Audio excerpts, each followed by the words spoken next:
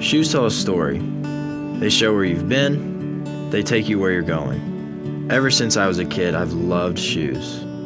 I've collected them, shared them, and dreamed of owning my own business one day where I can sell them.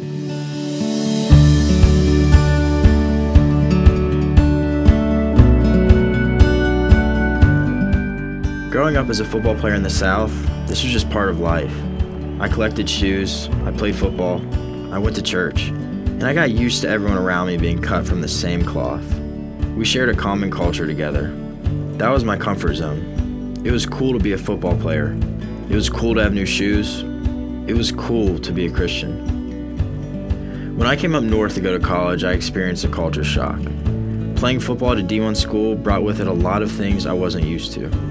Not only were people very different than I was, but it was no longer cool to be a Christian.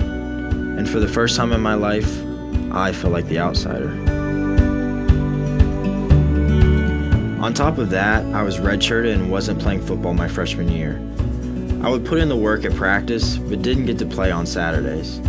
Between the rigors of classes, not playing football, and the tensions I felt being so far away from everything that I knew, I reached a breaking point at the end of the year. I called my dad and told him I wanted to look at different schools. I wasn't playing, I wasn't comfortable, and I wasn't happy.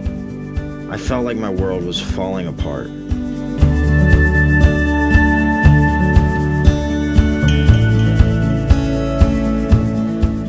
And then I talked with Mark. I remember where we were. It's where we always met, at a table in the event center.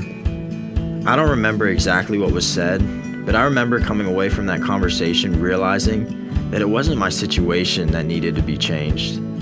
It was my heart. And my life changed at that point. I looked at the world around me and for the first time noticed that it wasn't full of people who were different than me. It was full of hurting people who needed the good news of Jesus. Suddenly, I saw my team, my classes, and my career as an opportunity to share the gospel, not a hindrance to it. And what a throw by Voytik! Mark continued to challenge me in my walk with Christ helping me grow in wisdom and see opportunities to share my faith. After our trip to Haiti, he helped me develop a vision of incorporating my faith into my future business. Who would have thought that a shoe store could be used to spread God's love? God needs faithful Christians in every profession, utilizing their God given passions to shine His light into the world. And I can't wait to do it. Wherever I go, on the field, in the office, around the world, I want to share the good news the love of God with everyone I meet. All because my campus minister didn't shy away from challenging me, calling me to a more mature faith. I don't know where my life would be now without him. Shoes tell a story, and these shoes tell the story of God's love.